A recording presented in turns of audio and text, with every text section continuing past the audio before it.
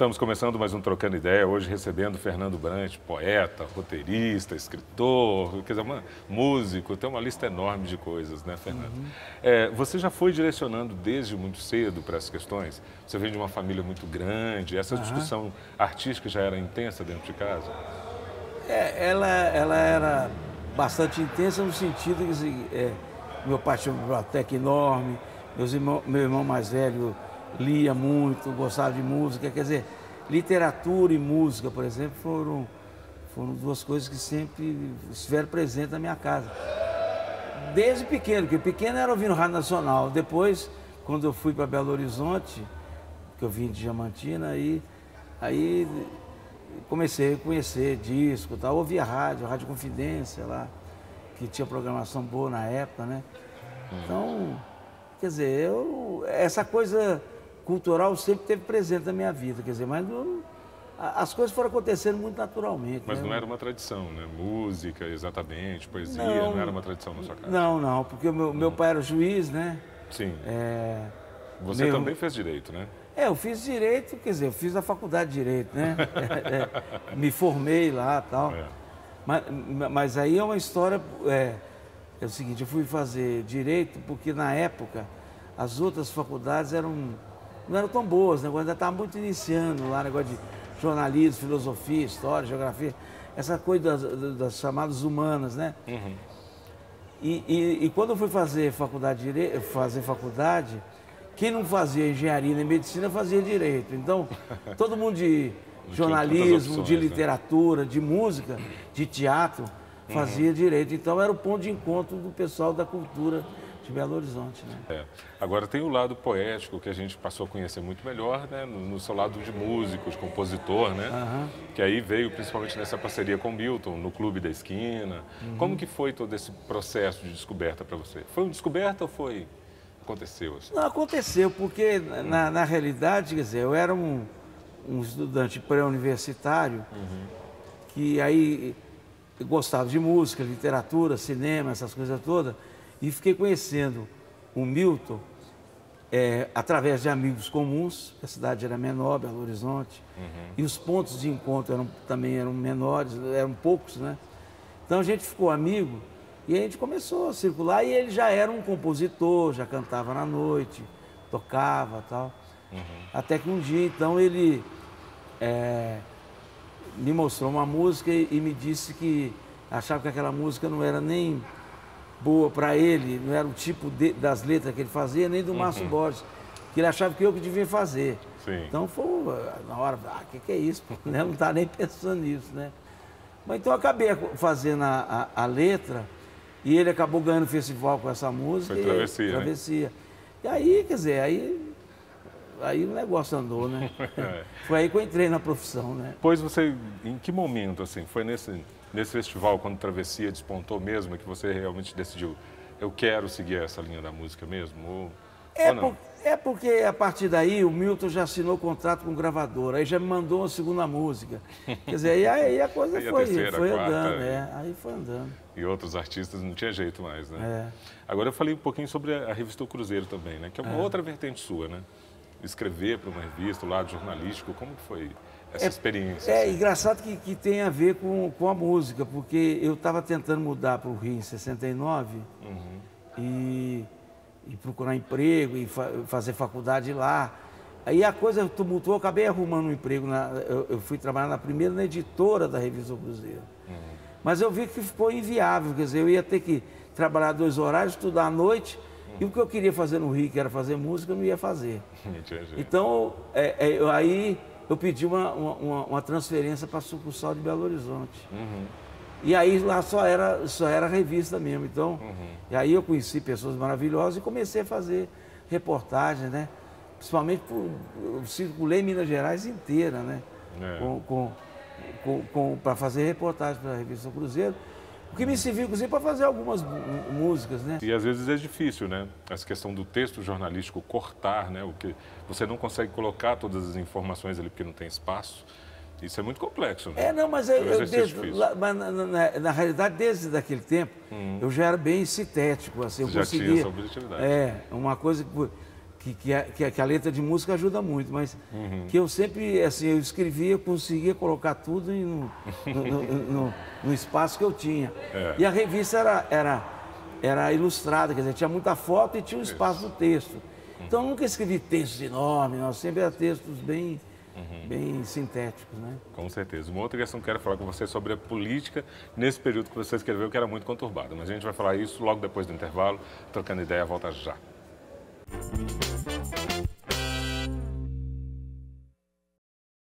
Estamos de volta com Trocando Ideia, hoje recebendo Fernando Brant. Fernando, no bloco anterior a gente falou, eu comecei a falar sobre a questão política do período que você escrevia, né? Uhum. Tanto enquanto compositor, quanto é, enquanto jornalista, né? Você pegou o período da repressão militar e que se escrever era uma coisa, é. não podia falar qualquer coisa. Você pegou realmente uma, uma, uma parte muito difícil nesse processo? Ou não, não interferiu tanto? Não, é, quer dizer, eu, é, é, eu, eu, eu, falava as coisas de uma maneira que, né, não, muito claramente, eu não, não, usava metáfora nas coisas do Cruzeiro. Uhum. Eu tenho experiência, por exemplo, aqui em Ouro Preto, por exemplo, uhum. eu, eu, uma das coisas que eu sempre cobri aqui foi o Festival de Inverno mesmo. Uhum. Eu vinha, passava aqui uns 10 dias, conversava com todo mundo, frequentava tudo, depois voltava e escrevia. E, e na realidade o Festival de Inverno, naquela época, era a coisa da juventude e da liberdade contra exatamente o que o país estava vivendo. Sim. Então, assim, mostrando o clima de liberdade de Ouro Preto, de uma certa maneira, é, é, eu conseguia dizer que aqui que estava a coisa certa e não era, não era em Brasília nem... Tinha algo é, de diferente. É. Né? Outra coisa que eu fiz aqui também, e aí já no, no auge mesmo da ditadura, no, acho que é Médici, né? Foi, eu vim aqui com o Juvenal Pereira, a gente fez uma, uma matéria com o Julian Beck, do, do, do Livre Fita. Sim. Então a gente fez uma matéria enorme é, é, com ele, fomos até a Saramenha, que ele estava fazendo um espetáculo lá, filmamos, conversamos, uma, saiu várias páginas. Você conseguiu publicar? Porque eles Publicou. foram expulsos. Não, né? mas foi Teve antes, um foi um mês antes. Pouco antes. É. Hum. Tanto que no, no, no, no, diário da Judite Malina, uhum. ela fala assim, oh, até o Cruzeiro, que era tão a nosso favor, agora também está entrando essa coisa policial, que na realidade, quando a coisa virou policial, não era eu mais, né? Exato. Eu, eu, não, eu, eu não mexia com isso.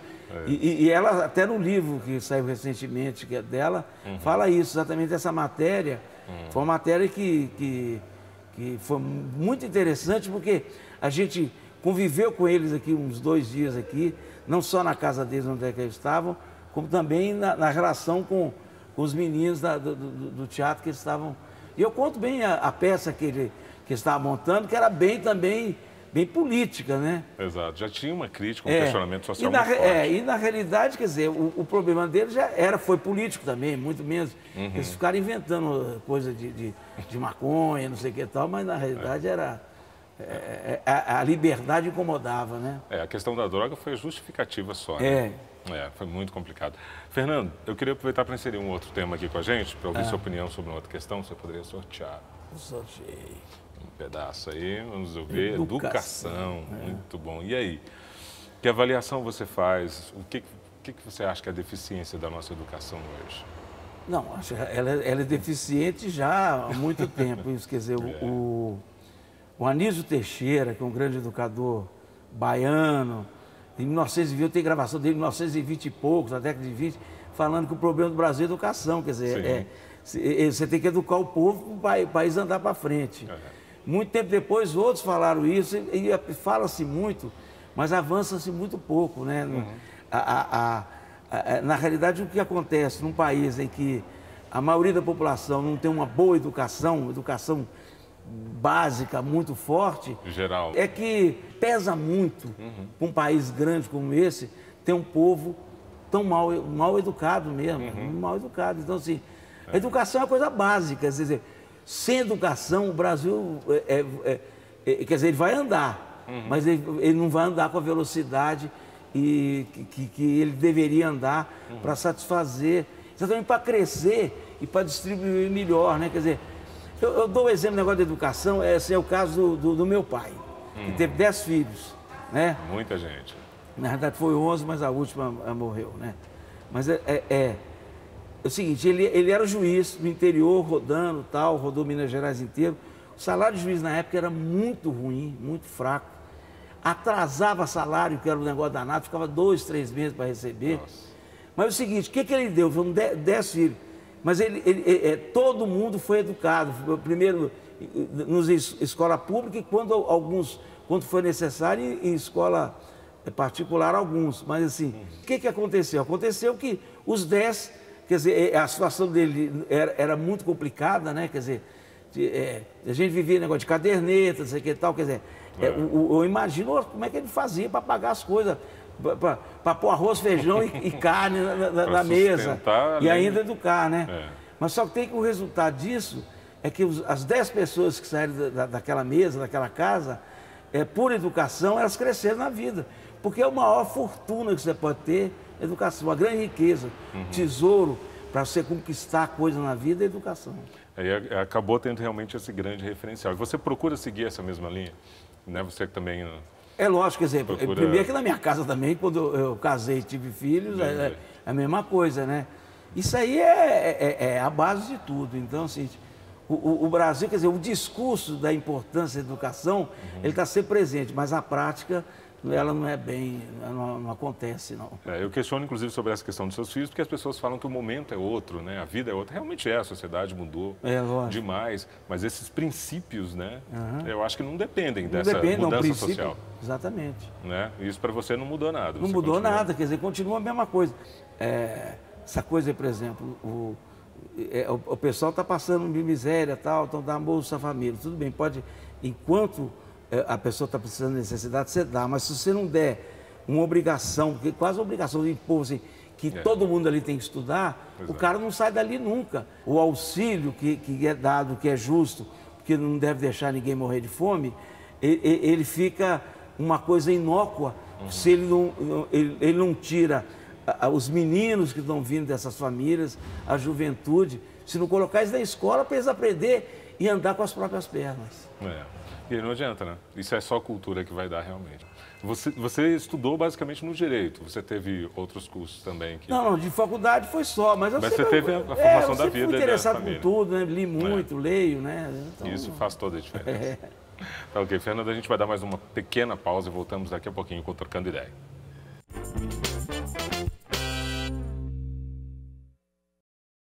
Estamos de volta com Trocando Ideia, recebendo hoje Fernando Brant. Fernando, é, uma das questões que você sempre esteve envolvido né, é a questão do direito autoral, da União Brasileira dos Compositores. Né? Uhum. que pé que a gente tem hoje as discussões, inclusive com essas novas tecnologias, para garantir né, realmente o reconhecimento dos nossos compositores? No caso das novas tecnologias, eu participo de, de, de congressos do mundo, fora do Brasil há muito tempo. Sim e, e essa, é, essa coisa que eu, que, que eu sinto e que é o que está, eu acho que caminha isso, a gente está numa fase de transição.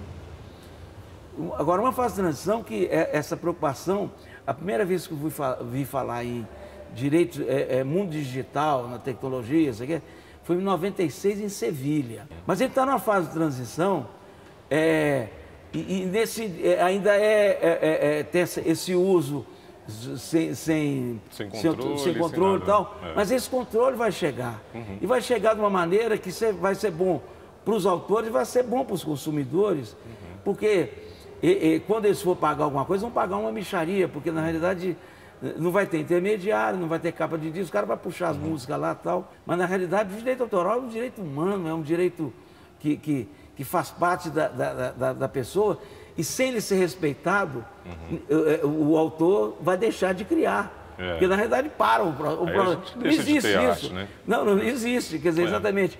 É, é, é, um, é um ciclo que, que começa. Com, no caso da música, uhum. começa com o, o, o, o, autor fazendo a canção. A canção move o mundo, entende? Uhum. Então, assim, agora essa canção tem que ser remunerada. Como vai ser? Aí tem que chegar um tempo. Então, assim, eu, não, eu, eu sou contra esse negócio da vai prender, não sei o quê. Não é isso, não. Eu acho que a gente está numa fase de transição que vai chegar num ponto, porque na realidade a gente não está precisando nem de mudar a lei nem nada. Uhum. A lei está ótima. É, só Problema, tem que aplicar a lei. É, não. A tecnologia uhum. que está criando essas possibilidades de muita. É, é, é, é para todo mundo usar, ela, ela está criando e vai criar ela mesma, a tecnologia, uma maneira de controle correto, justo e bom para todos. Muito bom. antes da gente terminar, o programa está quase chegando ao fim, mas eu queria falar do seu lado escritor, né? Porque você é. tem ali o, o, lado jornalista, o lado compositor, que você falou que são mais sintéticos, né? É. Aí você aí resolve ser lá o escritor do Clube dos Gambás, né? Que é, é. Muito, muito, interessante, e também do Chico Caminhador. Como, como que é essa história de partir para uma linha mais mais densa, talvez. É, vão acontecer. Mas foi normal? Não, é, é, acontece normal, porque me chamaram para escrever é, é, crônica do Estado de Minas. Aí eu topei. Você escreve semanalmente. Semanalmente. É. Tanto que, na realidade, depois do Clube dos Gambás, eu acho que eu já tenho eh, material para três livros. Eu tenho que até procurar um editor aí, pra, porque, né, porque eu acho que é bom que deve selecionando ali e tal. É. E, mas mesmo no, no, você vê que a minha crônica, a minha crônica uhum. tem 40 linhas, eu, eu mais ou menos, eu, eu, não, não foge muito disso não. Eu tento é é, é, é, é, pegar um assunto e, e, e, falar tudo que eu acho sobre ele num, num espaço. Não, não, julgar muita palavra fora, não. Acho que a hum. palavra é uma coisa muito importante para a gente usá-la assim desavisadamente, né? E no caso do clube do, do, do Chico Caminhador, foi uma proposta da, da, da, da Ana Raquel, que saiu fotografando as margens do São Francisco. Em cima da fotografia fez uns, umas aquarelas, sei que tal, e aí me mandou e aí eu fiz os textos. Sim. Que eu já tinha um, um, uma letra de música que eu tinha feito da Vinci para Chico Caminhador, uhum. já existia uma música. E através daí eu fiz, né? Então as coisas vão acontecendo e aí, se eu tiver disposto, eu faço, né? eu queria, queria, inclusive, só que você explicasse essa questão do, do Clube dos Gambás, né? Porque você fala dessa questão do, de como as pessoas se encontram, né? É. Porque isso é, isso é uma um coisa pouco, que né? falava muito um amigo, um, hum. um, fraterno que morreu, infelizmente, há uns três anos, hum. quatro anos, o Veveco, que é um cara, era um cara agregador, arquiteto, tal, maravilhoso, e que ele dizia isso, que, em, é, é, é, é, que, um, é que um gambá cheira o outro, igual as mães da gente falavam, mas só tem que ir no, no outro sentido. No sentido seguinte, qualquer lugar que você vai, no mundo, ou ou no mesmo no país, você acaba, você fica um tempo, você acaba encontrando as, o, o, tipo de pessoa que tem a ver com você. Você acaba se enturmando. Quer dizer, a gente tem turma no mundo inteiro. Então, assim, então existe o Clube dos Gambás, que é um clube Sim. maravilhoso, que não, não, não, cobra mensalidade, não tem carteira, não tem burocracia nenhuma. Sim. Você chega num lugar, fica um tempo, de é. repente é. você está enturmado e enclubado. Né? As afinidades dão um cheiro para esses Exatamente. gambás, né? Com é certeza. Fernando, Grande prazer receber Pô, você aqui com a gente. Tá jóia, muito E que bom. você continue encontrando outros gambás aí nessa tá música, né? Formando essa tá maravilha certo. de repertório que você traz pra gente. Muito obrigado. Aqui. Tá bom. Obrigado. Trocando ideia, fico por aqui. Até o próximo.